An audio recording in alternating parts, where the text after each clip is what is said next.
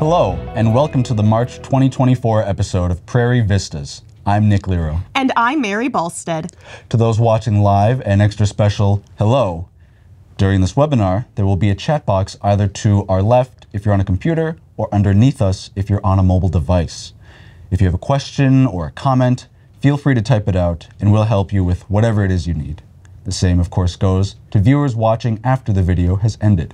This episode, we're going to take a look at what there is for STEAM or STEM education on PBS Learning Media and beyond. Not only will you see resources from us here at Prairie Public, but you'll get to see PBS resources nationwide. Let's quickly take a look at what STEM and STEAM are. STEM stands for science, technology, engineering, and mathematics, and is a way to group these subjects together. STEAM, which stands for the same for S, T, E, and M, incorporates an A, which stands for arts. According to PBS SoCal, students getting a STEM or STEAM education gain a unique way to think critically and work collaboratively to solve problems.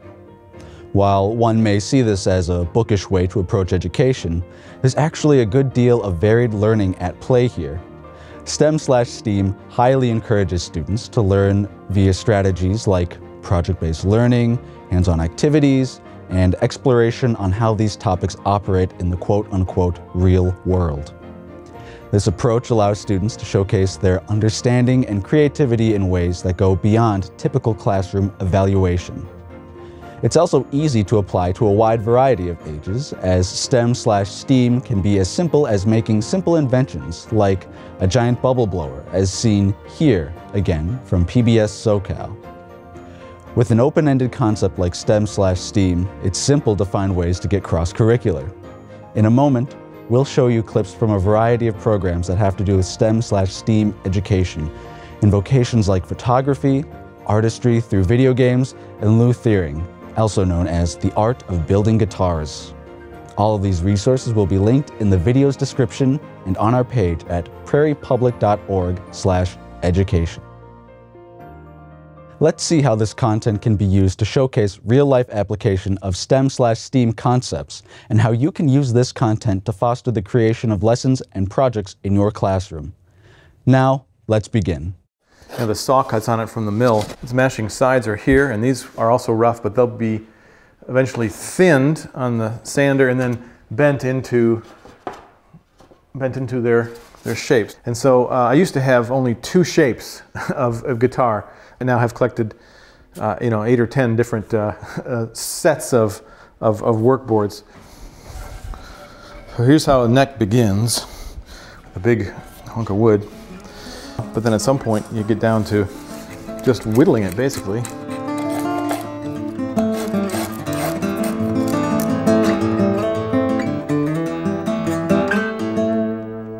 These are little surgical lights that I bought from a surgical supply house. I also learned that in the operating room there are always two lights, one over each shoulder, so no matter where you're working, you're eliminating the shadow. And so when I'm working, I'll often use my two little lights, and I'll have one light coming over each shoulder, and so no matter where I'm working, there's, there's, never, there's never a shadow. And it makes for some great detail work. I thought about the parallel between my own internal noise and the camera noise that was going on inside the body of the camera, and immediately thought of linking the two as something that is a subject that we, we like to work through or we want to avoid, and instead I wanted to see it. I wanted to make a photograph of the inside of the camera while I was making a photograph. So just a black image that I hyperexpose to reveal the substructure of the kind of digital electrical process inside the camera body. But the, the point isn't about a variable blue, green, purple. It's, it's about digital language code, really nuanced um, variations from one point to another. I'm Chuck Olson, and uh, this is Taylor Carrick, and we came up with FutureKave. Future Cave is uh, an in person social game experience. It's a piece of software, it's a video game, it's an art piece, uh, and we're continually evolving it. VidTiger is our organization, and we're all about art, technology, and social good. A lot of the most exciting projects that we see in the world are um, kind of mixing art and technology. And so FutureKave was, was our chance to, to see how this stuff worked and learn about it and this create a really interesting experience um, for Art-A-Whirl actually here at Solar Arts.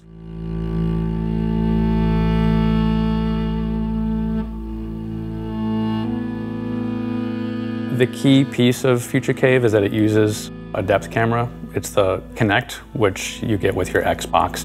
And the cool thing about a, a Kinect as a piece of technology is it's a camera that sees that you're a human being. It's like, I see that you're human and that you have a human body and that you have arms and a head and legs. So we're using that information and kind of hooking it up with a video game engine called Unity. And that's a 3D environment where like really anything is possible.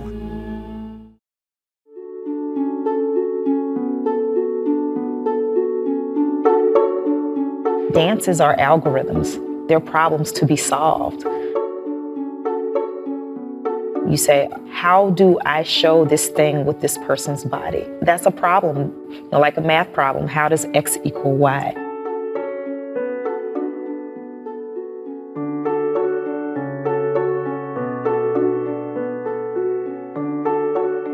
I guess my life as a computer scientist and dance, they may not seem the same, but arts and science are not as disparate as people believe. Right off the bat, you can see how STEAM works with this resource. As Karen L. Charles said, it's not typically thought that the art of dance and math can work together to create something special. In this educator guide, we can see the specific standards for both math and art that work in tandem to create this activity down here. In it, students must represent a mathematical pattern through dance. And not only is this an application of artistry to math, it's a new way to evaluate understanding through a creative, collaborative effort. It's also highly cross-curricular, and it comes from a resource in which we can see a person in a creative field applying mathematical concepts to create an artistic work. Prairie Public also has STEM STEAM resources available on Learning Media. These resources are excerpts from documentaries that could be used to show students STEM skills at work in a career. First, let's see clips from our videos that cover environmental science topics. America's Grasslands, a threatened national treasure, and Wetlands, the drain game. As the young ducks are learning to fly, researchers in South Dakota capture even more for banding. This is uh, an adult male bluewing. You can tell by the obviously the blue patch. And are we doing left foot? Left, left leg upside down. Left leg upside down this year.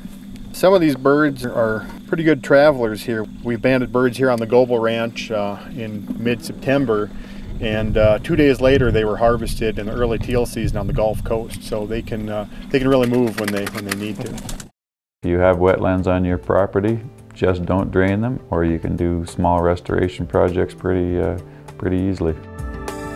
In most cases, the wetlands that are drained are seasonal or temporary wetlands. They're only an acre or two in size. So if you can picture that, where there's a drainage ditch, a shallow ditch, of which that water moves out of that wetland, it's a pretty simple process, relatively inexpensive process to go back in there and, and put a small dike or, or ditch plug in that drainage ditch. And uh, the next spring with spring runoff, that wetland would be full again of water and within two to three years the, the vegetation would restore its, itself as well. So probably in a three to five year period after restoration it's performing almost like it did prior to drainage as a naturally functioning wetland. Now, let's look at a clip from another documentary on the topic of carbon dioxide and the relationship between it and the production of oil. This comes from one of our documentaries produced in partnership with a litany of scientific bodies to create educational content. This specific documentary I'm about to show you is called Reducing Our Carbon Footprint, The Role of Markets. The current techniques used for enhanced oil recovery can be used to store anthropogenic CO2 permanently underground. Putting CO2 into underground geologic reservoirs is called geologic CO2 sequestration or carbon capture and storage. The CO2 could be stored in depleted oil reservoirs, deep unminable coal seams, and deep saline reservoirs. Each ton of this stored carbon creates a credit that can be sold on the market. In this way, the cost of implementing sequestration can be financed through the sale of carbon credits. There are also more clips from videos on these topics under our North Dakota and Minnesota Regional Studies collection. As you can see, not only do we have videos on the topics shown already, but we cover other vocations and subject matters that have to do with STEM and STEAM. We've put the link to the collection in the description below. Earlier, I said that STEM slash STEAM can be used not just with older students, but with young students as well. Let's take a look at a few examples of STEM slash STEAM content for young students. Math is all around us. For example, we can practice math with shoes. We will need a pair of shoes from each member of your family. How many pairs of shoes do I have here? Let's count. One, two, three, four. How many shoes do we have? One, two, three, four, five, six, seven, eight. So let's sort our shoes. How about if we put all of the girls' shoes together and all the boys' shoes together? What if I subtract, I take away these shoes? If I put this back, we're adding shoes. Is that you can do. We're going to have the solids now this time. Um, now, what I'm going to do here is place something called lycopodium powder, which is a plant-based, flammable plant-based material. And I am going to actually become your very own fire-breathing dragon. So this is a flammable solid. And I'm going to do this in three and two and yeah. Don't make me angry. Finally, our last group of resources are on the careers one can find success in using their skills from STEM and STEAM. These two series offer a look at how different careers use STEM and STEAM skills, often in ways you might not expect. We receive our evidence, it's actually in a sealed package, um, and we usually have initials across the seal so that we know, whoever packaged it, that it hasn't been gotten into so that we know that it's okay when it comes into us. Um, it's not been contaminated or anything like that. We approach the evidence by uh, first doing a visual exam. So we'll take a look at it, uh, whatever we can see with just our eyes. We'll note color, consistency, note if there's any type of odor. After that, we'll actually put it under a microscope, and that'll help us see things that we can't see with just our eyes. And that we'll uh, able to take note if there's a mixture, we'll look at the shape, the texture, if it's wet, anything like that. And then after that, we can put it on a series of tools that we call here in the laboratory instruments. And that'll help us analyze what could possibly be in that unidentified chemical. Um, and that'll give us more chemical information. So I wanted to share this piece that uh, kind of triggered the costume that it's exhibited now at Showstoppers uh, which is Medusa costume. But this is the first time I wanted to implement some of the bone uh, like alien like uh, sculptures into my work. And it started with this illustration, this sketch that kind of had these tentacles that go into space. And I knew that this is not something that I can achieve with a machine, sewing machine. Mm-hmm. So it had to be built in 3D. So I started with a sketch, and that's kind of like how you, I usually start the process. I create uh, rendering that uh, shows the object from different angles, from the front, from the side, from, uh, from the top or the bottom. And then in the 3D program, I slowly start developing that sculpture. So these were some of the some of the elements that kind of came to life from the first sketch. And in the 3D program, you can assess and look at the component from different angles and that's how you start pulling things into 3D. So you are basically working in the virtual space developing these pieces. Here at Prairie Public, there are many jobs that utilize STEM slash STEAM skills every single day. I've interviewed Andy Garske, the production manager here, to find out what they do and how they use those skills in their career.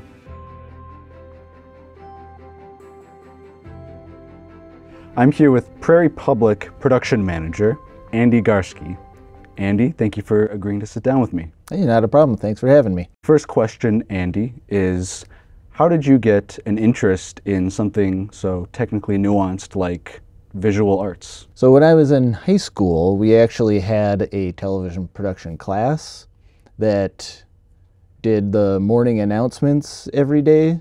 And then throughout the class, we also got to work on making a movie. So, for a whole semester, me and my friends made a movie for that class, and we learned cameras, we learned directing, we learned editing, and we learned audio. So, really, the basics of video production we learned in that television production class. So, you learned the basics of video production in that class. Then, could you describe your training afterward when you decide, I want to do this as a career? From that class in high school, I really realized that that was the career I kind of wanted to go into. So, I went to a technical college where I went into the video production course for that. We learned about cameras, we learned all the things you need to know for camera work from iris to shutter speeds to white balance, what audio levels we should have our audio at, and even more in depth in editing. When I was getting my training, I was learning tape to tape, and then we also got a start in editing non-linearly on computers. During your training, what were some challenges that you faced? So, a lot of the challenges that I faced in the training was just how much you needed to know. There's just so many pieces to video production that you really got to kind of have a basic knowledge of all of video production to really get going. Can you think of any specific STEAM uh, skills that you'd categorize as STEAM uh, that you use in your day to day? We deal a lot with distances, whether it's a distance of a light or distance from your subject to your lens, and then knowing what focal length you would like your lens at to judge that distance. And also, you need to know from audio levels, so we really got to watch the, the measurement of audio levels. How do you integrate technology with the arts?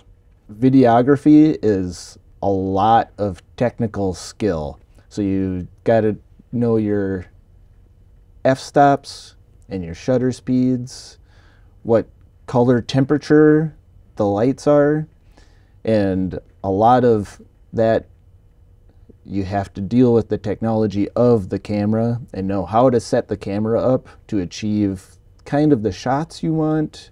What are some novice level programs or means of developing technological skills uh, in video production you can think of? So, almost every student probably has a great device on them right now for developing the skills of video production, and that's your phone. Every phone has a camera on it, and on that camera, you can learn almost every bit of video production you might need on an actual video camera. And even on that phone, you can take all of the video that you've shot and probably edit it on that phone as well. How do you see arts and technology combining in the future? What's the progression like? So that's the great part about video production is that it is always evolving. The technology is always getting better and actually easier to acquire and use.